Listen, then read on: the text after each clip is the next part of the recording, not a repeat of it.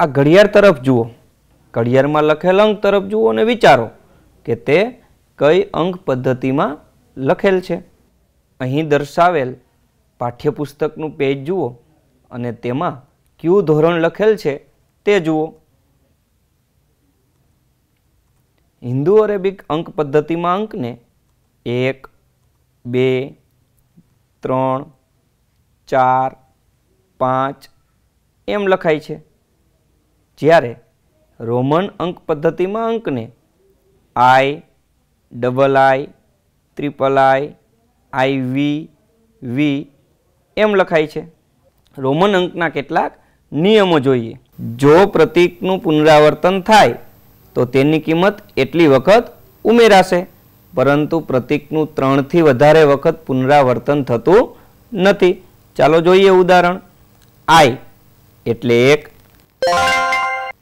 બે વખત આઈ, એટલે બે. ત્રણ વખત આઈ ત્રણ. પરંતુ અહીં ચાર વખત આઈ, એટલે ચાર નથી. બીજા ઉદાહરણ જોઈએ. એક્સ એટલે દસ. બે વખત એક્સ એટલે વીસ. ત્રણ વખત એક્સ એટલે ત્રીસ. પરંતુ ચાર વખત એક્સ એટલે ચાલીસ થતું નથી. વી એલ ડી પ્રતિકનું પુનરાવર્તન થતું નથી. એટલે કે બે વખત વી લખવાથી દસ થતા એ જ રીતે બે વખત એલ લખવાથી સો થતા નથી. એ જ રીતે બે વખત ડી લખવાથી હજાર થતા નથી. બીજો નિયમ જોઈએ. જો નાના મૂલ્યનું પ્રતીક મોટા મૂલ્યના પ્રતીકની જમણી બાજુએ લખવામાં આવે, તો તેનું મૂલ્ય મોટા પ્રતીકના મૂલ્યમાં ઉમેરાઈ જાય છે. વીની જમણી બાજુએ આઈ લખવામાં આવે, તો વી વત્તા આઈ. આપણે જાણીએ છીએ કે વી એટલે પાંચ, આઈ એટલે એક, એટલે પાંચને એક છ થશે, એટલે કે વી આઈ બરાબર છ થશે. એ જ રીતે એક્સની જમણી બાજુએ જો બે વખત આઈ લખવામાં આવે, એટલે કે ડબલ આઈ લખવામાં આવે, તો તે એક્સમાં ઉમેરાઈ જાય છે. એટલે કે એક્સ વત્તા ડબલ આઈ બરાબર એક્સ એટલે દસ અને ડબલ આઈ એટલે બે, દસ વત્તા બે એટલે બાર. ત્રીજું ઉદાહરણ જોઈએ એલની જમણી બાજુએ જો એક્સ અને વી લખવામાં આવે, તો એક્સ અને વી એલમાં ઉમેરાઈ જાય છે. એટલે કે એલ વત્તા એક્સ વત્તા વી એલ એટલે પચાસ એક્સ એટલે દસ અને વી એટલે પાંચ. એટલે કે પાસઠ. એટલે કે એલ એક્સ વી બરાબર પાસઠ થશે. હવે પછીનો નિયમ જોઈએ. જો નાના મૂલ્યનું પ્રતીક મોટા મૂલ્યના પ્રતીકની ડાબી બાજુએ લખવામાં આવે, તો તેનું મૂલ્ય મોટા પ્રતીકના મૂલ્યમાંથી બાદ થાય છે. એટલે કે વીની ડાબી બાજુએ જો આઈ લખવામાં આવે, તો વીમાંથી આઈ બાદ થાય છે. એટલે કે વી ઓછા આઈ બરાબર. વી એટલે પાંચ, ઓછા આઈ એટલે એક, પાંચ ઓછા એક. બરાબર? ચાર. બીજું ઉદાહરણ જોઈએ. એક્સની ડાબી બાજુએ જો આઈ લખવામાં આવે, તો એક્સમાંથી આઈ બાદ થાય છે. એટલે એક્સ ઓછા આઈ એક્સ એટલે દસ અને આઈ એટલે એક. દસ ઓછા એક એટલે નવ. એ જ રીતના એક્સ સી એટલે કે એક્સ સીની ડાબી બાજુએ છે.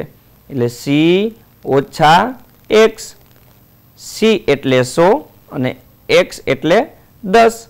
તો સો ઓછા દસ. બરાબર નેવ થશે. હવે પછીનો નિયમ જોઈએ. વી એલ અને ડીના પ્રતીકો મોટા મૂલ્યના પ્રતીકની ડાબી બાજુ પર ક્યારેય લખાતા નથી. એટલે કે વી એલ અને ડીને બાદ કરી શકાતા નથી. એટલે કે વી એક્સમાંથી વી બાદ થતો નથી. વી એક્સ બરાબર પાંચ લખાતા એ જ રીતના એલ ડીમાંથી બાદ થતો નથી. એટલે કે એલ ડી બરાબર ચારસો પચાસ લખાતા નથી. એ જ રીતે એમમાંથી ડી બાદ કરી શકાતો નથી. એટલે કે ડીએમ બરાબર પાંચસો લખાતા. પછીનો નિયમ જોઈએ. પ્રતીક આઈ માત્ર વી અને એક્સમાંથી જ બાદ કરી શકાય છે. એટલે કે વી માંથી આઈ બાદ થઈ શકે છે. વી માઇનસ આઈ બરાબર પાંચ, માઇનસ એક બરાબર ચાર. અને એ જ રીતે આઈ છે એક્સમાંથી બાદ થાય છે. આઈ એક્સ બરાબર એક્સ માઇનસ આઈ બરાબર દસ ઓછા એક બરાબર નવ. અહીંયા સીમાંથી આઈ બાદ થતો નથી. પ્રતીક એક્સ માત્ર એલ સી અને એમમાંથી બાદ કરી શકાય છે.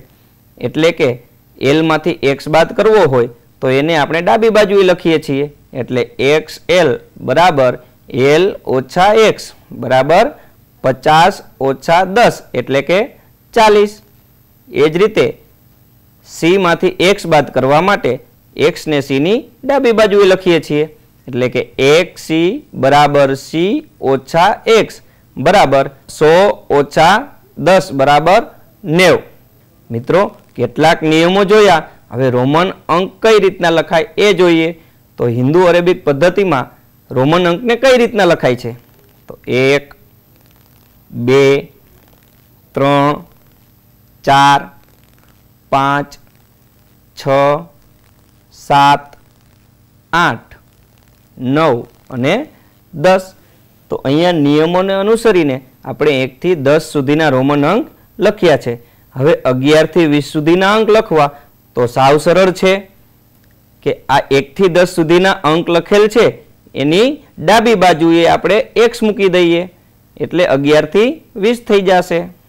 અગિયાર, બાર, તેર, ચૌદ, પંદર, સોળ, સત્તર, અઢાર, ઓગણીસ અને વીસ. થયું ને એકદમ સરળ. હવે આપણે દસથી સો સુધીના અંક રોમન અંકમાં કેમ લખવા તે જોઈએ. તો દસ, વીસ, ત્રીસ, ચાલીસમાં આપણે ચાર વખત એક્સ લખતા નથી. એટલે ચાલીસ, પચાસ સાઠ સિત્તેર એંસી નેવું અને સો. તોતેરને રોમન અંકમાં કઈ રીતના લખશો? વિચારો.